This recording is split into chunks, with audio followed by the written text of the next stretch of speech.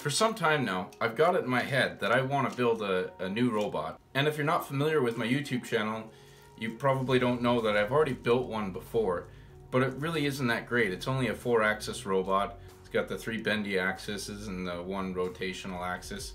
So it can't really move, uh, well, it can't move like it's supposed to. It doesn't have enough degrees of freedom. But before I start actually doing this, I need to figure out how I can do it and uh, if I can gear it down with compound planetaries, if they are efficient enough and if they're strong enough to be able to build a robot out of them. So today I'm going to test uh, this compound planetary, which Ross Korsky actually designed. I believe it's based off of my 66.46 to 1 that I used in this robot, but it's got some changes to it that uh, maybe I'll show you later. Uh, but today I'm going to test it and see if I can break it with a NEMA 23 motor. So uh, let's find out. Let's get right into it. Hey guys, and welcome to Gear Down for What. I'm to set this up and uh, we'll get right into it. Of course I'll have the scale facing this way by the time we do that. So first thing I got to do, well, I got to check to see if I set this gearbox here, we are to have a slight error in, first off I should set it up this way. So if I set this gearbox down here, I'm gonna have a slight error in the fact that it should be to where the center of this should be horizontally level with where this point touches the scale. Which means that I technically should put another inch of material in there, but I don't have anything that's exactly an inch. So we're gonna try to figure out something there. I'm really, really lucky, I can get one of these to split down the center. Now, if I had like a table saw, this would be uh, no problem at all, but I don't, so uh, I'm just fooling around here, I guess. So I know that every time I've tried to put screws in the end of this, these uh, 2x2s, they always split. And I suppose now that I'm trying to get it to split, you know what? I wonder if I just did two of these. Two of these is going to be pretty close. Then I don't have screws long enough. I just can't win. oh.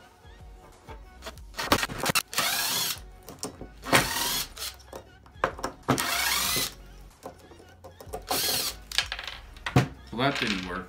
I wasn't really expecting it to, but I was hopeful. oh god.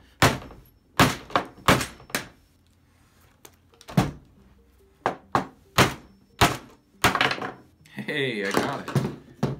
Now is it to be usable? Not very straight. But I can straighten that out with my Sawzall.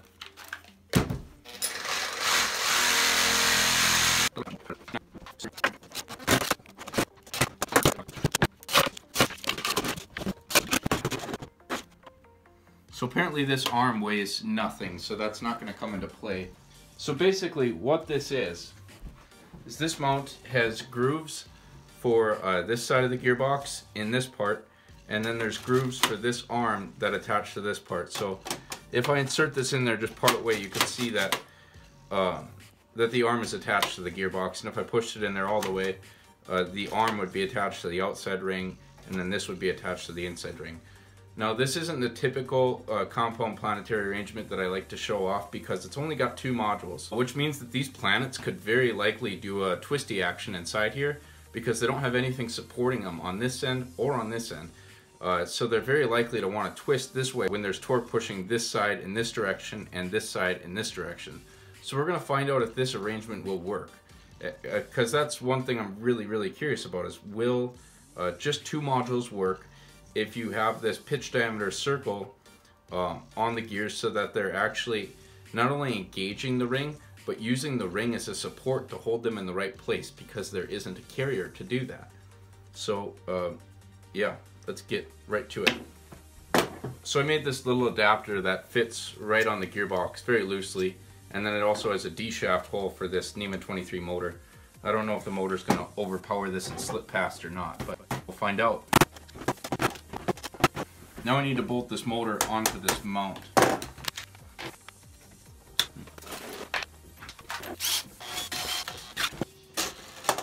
Forgot to mention, there's also ball bearings in here.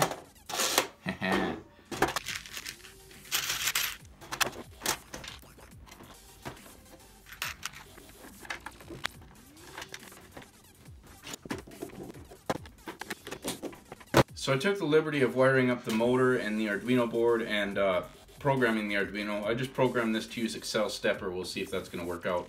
I've also got my power supply hooked up. Just in case you're curious, this actually, why these three stepper drivers are mounted on here is because this was uh, from my last robotics project that I actually never decided to finish. Uh, because I, I, decided not to finish it because I went into it without a plan. I, I need to have a plan. I need to know what works and what doesn't. And in order to know that, I have to actually test it myself, especially because I'm designing, you know, the gearboxes that I want to use for it. I really want to use these. I'm hoping this test comes out good. So once I got my step and direction pins in the right order, it works. That was easy. Probably the easiest Arduino setup I've ever done. Now I need to get that slug printed out so that I can connect the motor shaft directly to this arm and we can get started with testing. So I've got the Arduino board working. I've got a couple push buttons so I can step the motor either way, uh, one way or the other. Haven't really tested it too extensively. And my uh, gearbox slug just printed out. So basically what this is gonna do is it's gonna imitate uh, the output of this gearbox and tying the input in directly. So let's insert this.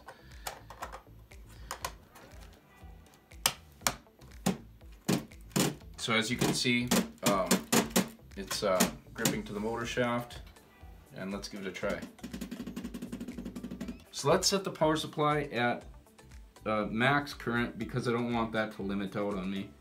And this thing is meant for 9 to 42 volts. Let's do 24 because 24 is much, much more common. Now we turn on the scale and we're at zero ounces. And let's give it a shot. How much, how much can this push?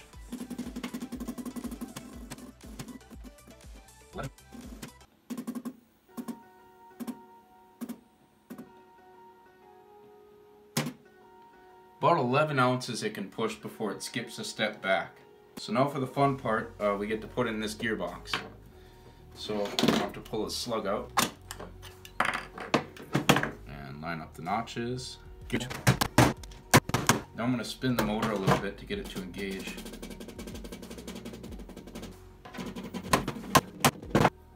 I'm gonna make the gear, uh, the motor spin 10 times faster until we get this set down. Uh, and then I'm gonna decrease that.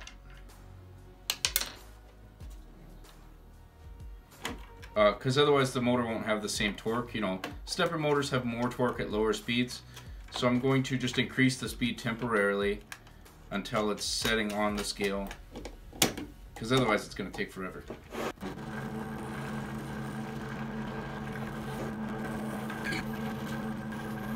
Okay, so once again, I turn the scale on.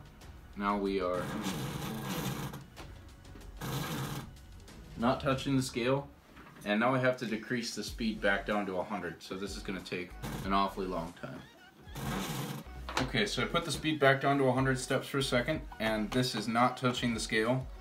Uh, the scale is zeroed. And let's give this a try. There's uh, oh, two pounds four pounds, five pounds, six, seven, eight, nine. So I've got nine. So I'm gonna put a mark on the motor shaft. Yes, it is for sure skipping step. Well, I saw nine pounds before, so to be fair, nine pounds. Let's do the math on that. So it's six inches from center of the gearbox to this very point. The center of the gearbox is approximately centered on the scale.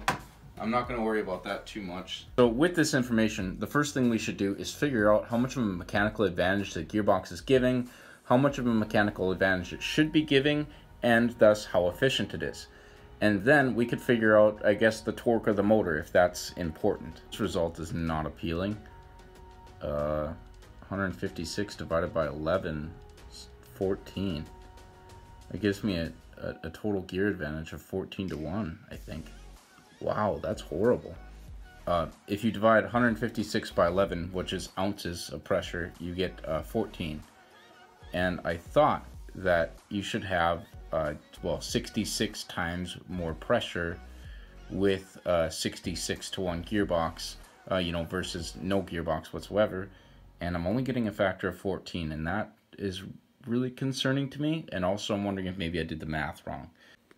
So in order to calculate efficiency rather than dividing the amount of torque the motor has or rather than dividing the amount of uh, torque the uh, gearbox has with how much torque the motor has, maybe I should be using this equation. I'm probably going to get the same answer.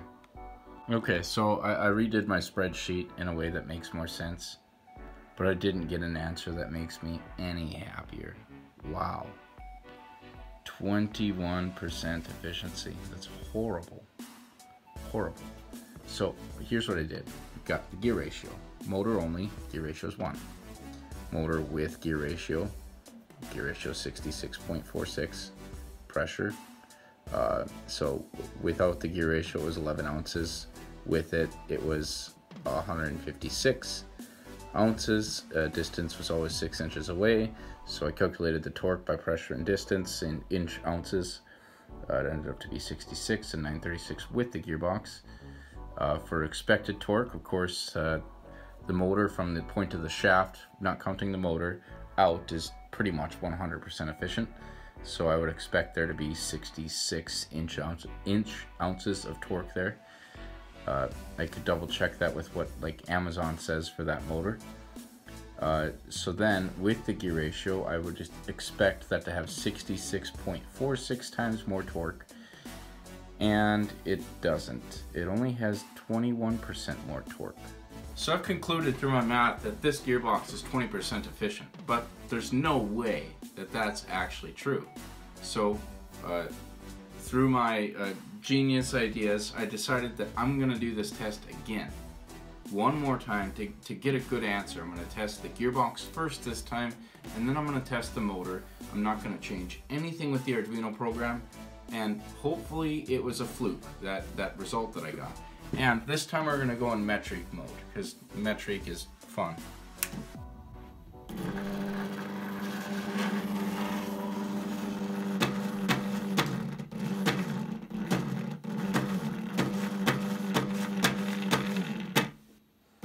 Thirty-six point five kilograms.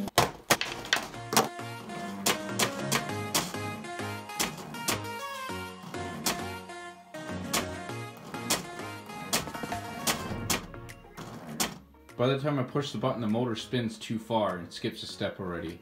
So I do have to change the speed of it. Or I'm actually not changing the speed, I'm changing how far it's moving.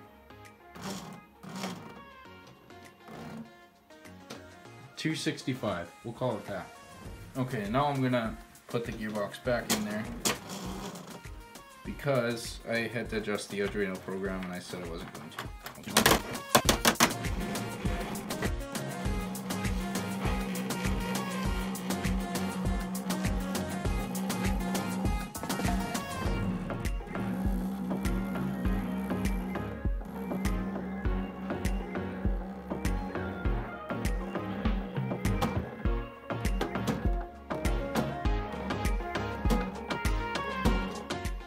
Think I saw 38 there for a second. Nothing quite says professional, like filming a computer screen.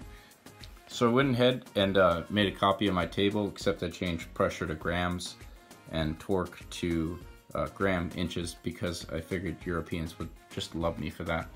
Uh, so I expected that torque, and for efficiency, I still got, if I multiply this by 100, 22%.